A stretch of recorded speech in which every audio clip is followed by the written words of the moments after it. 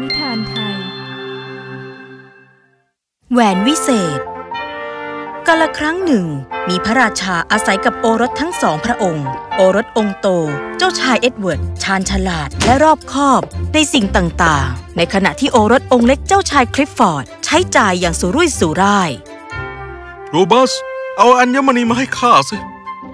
ฝ่าบาทหม่อมฉันสั่งแหวนพวกนี้มาเพื่อท่านโดยเฉพาะเลยล่ะ มันช่างสวยงามนัก นี่ของเจ้า ท่าน ขอพระทัยฟาบาท เราต้องการทองอีกร้อยเหรียญ โอ้ งั้นรอข้าเดียวนะ เอ็ดเวิร์ด งั้นข้าขอยืมหนึ่งร้อยเหรียญเซแต่ว่าท่านพ่อท่านให้เราคนละสองพันเหรียญนะข้าใช้หมดไปแล้ว เอาจริงเหรอ แต่ว่านี่ยังไม่ถึงชั่วโมงเลยนะคลิฟฟอร์ด ท่านพี่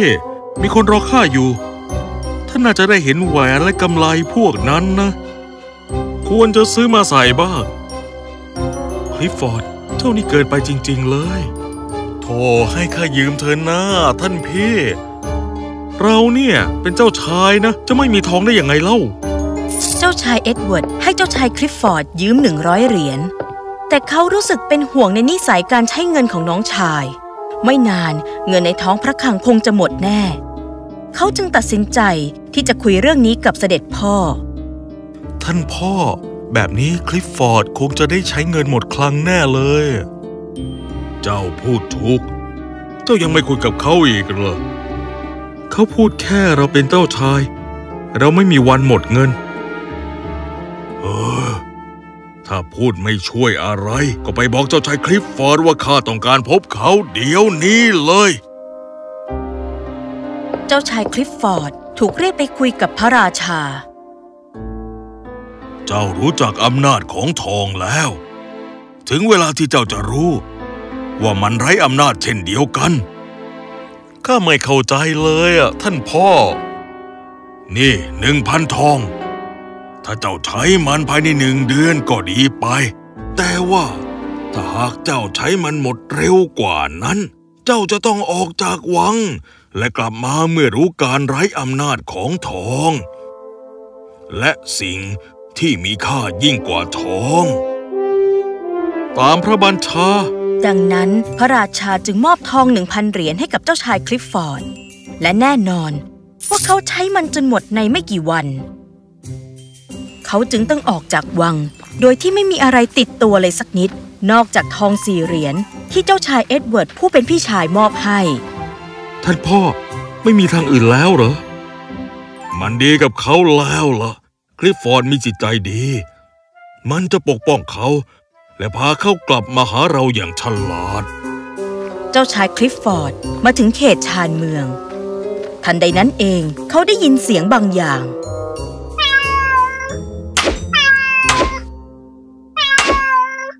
เฮ้ย อย่าตีมันน่ะ เจ้าสัตว์น่าสงสาร มันกินนมของข้าจนหมดขวด แล้วข้าจะดื่มอะไรเล่า แมวตัวนี้เนี่ยมันเป็นปัญหาเกินกว่าจะช่วย ข้าจะซื้อแมวนั้นจากเจ้าเอง เท่าไหร่กัน ก็แค่หนึ่งเหรียญก็พอแล้ว เอานี่ ไงเพื่อน แกเป็นอิสระแล้ว ไม่มีใครตีเจ้าแล้วนะ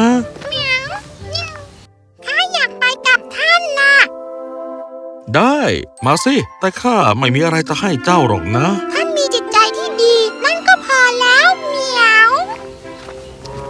ข้างหน้าเล็กน้อย เจ้าชายก็มาถึงทุ่งนา และเห็นชาวนากำลังโกรธมาก เจ้าสัตว์ที่น่าสยอง มีอะไรอะอย่าตีมาเลยน่าน่าสงสารออก พวกนกจิกกินผลไม้ของข้า มันควรจะไล่พวกนั้นน่ะ แต่ดูขามันสิ ข้าจะซื้อหมาจากเจ้า เท่าไหร่กัน ข้าคิดแค่หนึ่งเหรียญ เอานี่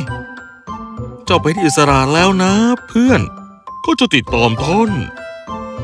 ก็ได้ มาสิ แต่ข้าไม่มีอะไรให้เจ้านะ ท่านมีจิตใจดี นั่นก็พอแล้ว ไปกันเลย เมื่อไปได้ไม่ไกล เจ้าชายก็พบกับชายคนหนึ่ง ถือห่อแปลกๆคลุมด้วยผ้าสีแดง เมื่อเจ้าชายเดินผ่าน ก็ได้ยินเสียงร้อง ใครก็ได้ช่วยข้าที ปล่อยข้าด้วย เฮ้ยอะไรอยู่ในนั้นอะแล้วเจ้าเป็นใครกันข้าอยากจะปล่อยนกแก้วตัวนั้น มันควรจะได้บินอยู่บนท้องฟ้าโน่น ไม่ใช่มาอยู่ในกรงแบบนี้ ถ้าเจ้าอยากปล่อยนกแก้ว ก็ต้องจ่ายมาหนึ่งเหรียญเอานี่ ทีนี้ก็ปล่อยเจ้านั่นซะเถอะ เร็วเข้า ตอนนี้เจ้าจะบินไปไหนก็ได้แล้วนะ แต่ข้าจะไปกับท่านว่าก็ได้ แต่ข้าไม่มีอะไรจะให้เจ้าหรอกนะ แต่ท่านมีจิตใจที่ดี นั่นก็พอแล้วว่าอืมงั้นก็มาสิ เจ้าชายเดินทางต่อไปกับเพื่อนๆของเขา ก่อนที่จะได้พบกับหมองูเข้า อยากดูการแสดงของข้าไหม ข้าทำไม่ไหวแล้ว ใครก็ได้ช่วยข้าที เฮ้ย เจ้าโหดร้ายไปนะ เก็บงูเนี่ยจะกล้าแบบเนี้ยปล่อยมันเถอะน้าปล่อยมัน ถ้าเจ้าอยากให้ข้าปล่อยงู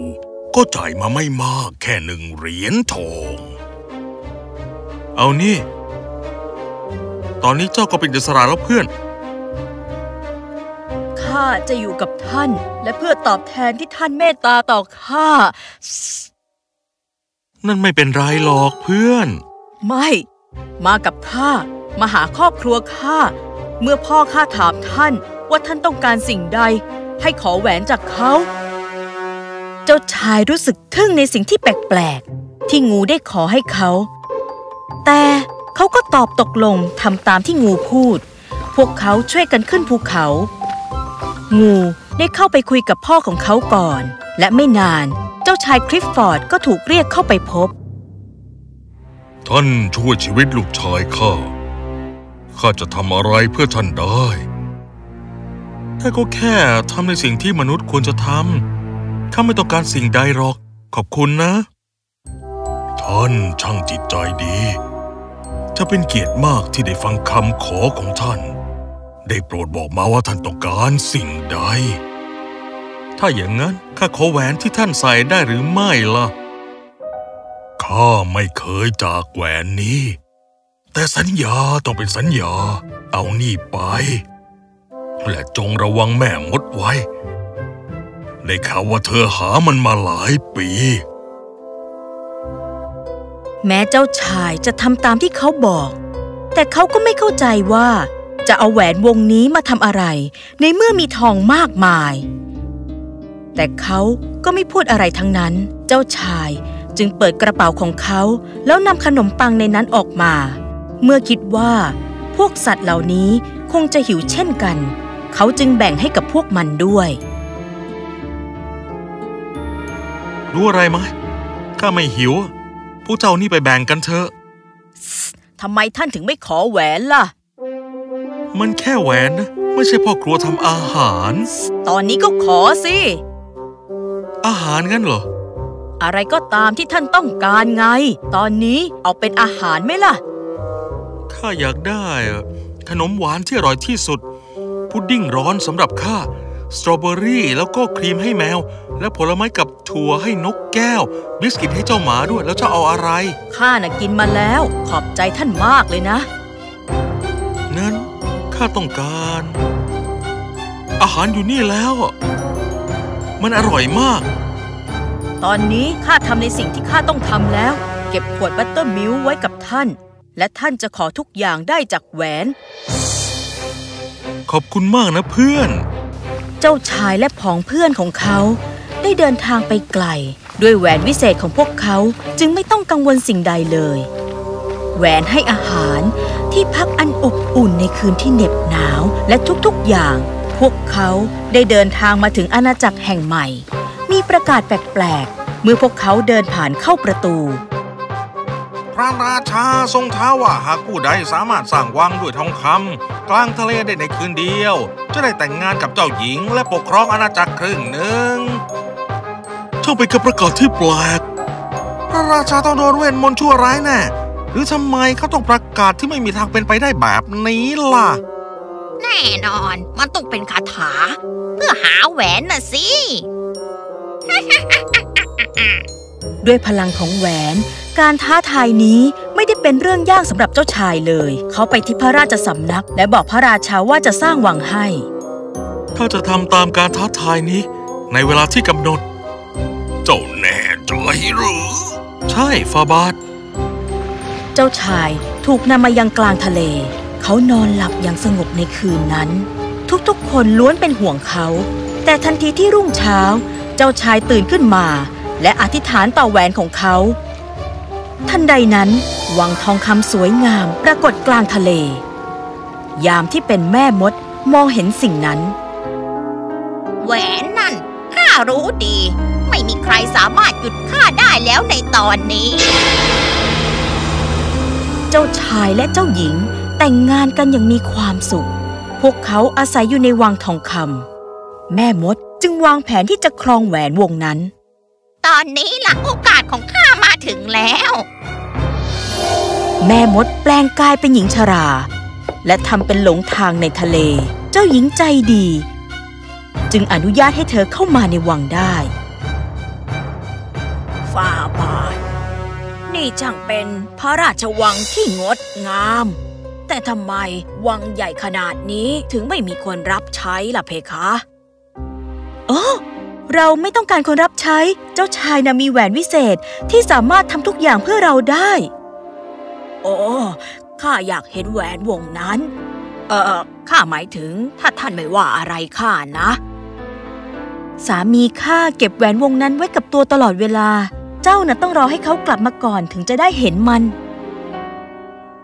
นี่คงเป็นเรื่องยาก ที่จะขโมยแหวนวงนั้นจากเจ้าชายได้ ข้าคงต้องลองวิธีอื่นซะแล้ว โอ้ ไม่ทำไมท่านไม่เก็บแหวนวงนั้นไว้ซะเองล่ะทำไมล่ะ เออถ้าเกิดว่ามันหายไปในท้องทะเลล่ะ มันน่าจะปลอดภัยกว่า ถ้าหากมันอยู่ในวังท่าน ก็พูดถูกนะ ข้าจะลองคุยกับเขาดูเมื่อเขากลับมาแล้ว คืนนั้นเจ้าหญิงขอให้เจ้าชายเก็บแหวนไว้กับเธอ เวลาที่ออกไปนอกทะเล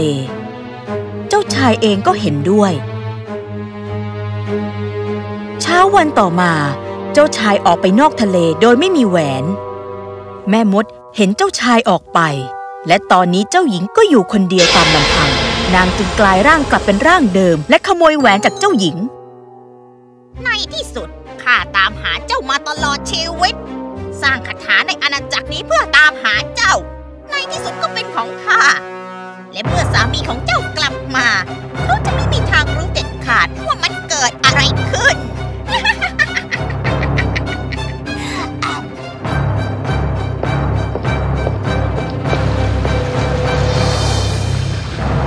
สัตว์ทั้งหมดบอกเจ้าชายทุกอย่างว่าเกิดอะไรขึ้นขณะที่เขาออกทะเล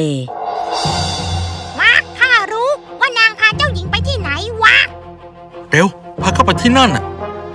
แต่มันไม่ปลอดภัยสำหรับท่านนะ อย่าลืมว่าแม่มดมีแหวนนะเจ้าหมาพูดถูก ไม่มีใครรู้ว่าเธอทำอะไรกับแหวนวงนั้นกันแน่ เราต้องนำแหวนวงนั้นมาให้ท่านให้ได้ นกแก้วนำทางพวกเขาไปที่แม่มดขังเจ้าหญิงไว้ อย่างแรกงูได้เลื้อยเข้าไปหาเจ้าหญิงก่อนท่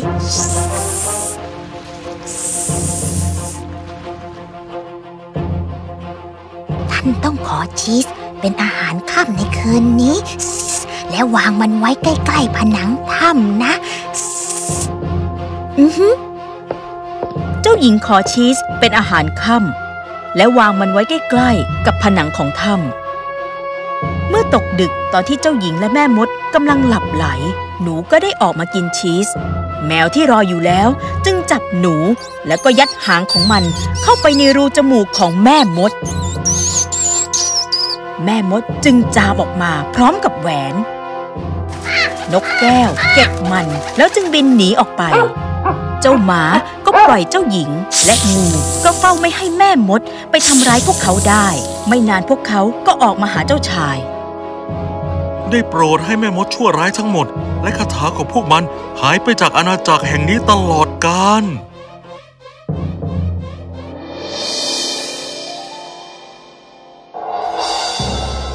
อนนี้ข้ารู้แล้วความหมายที่ท่านพ่อพูดอะอะไรเหรอ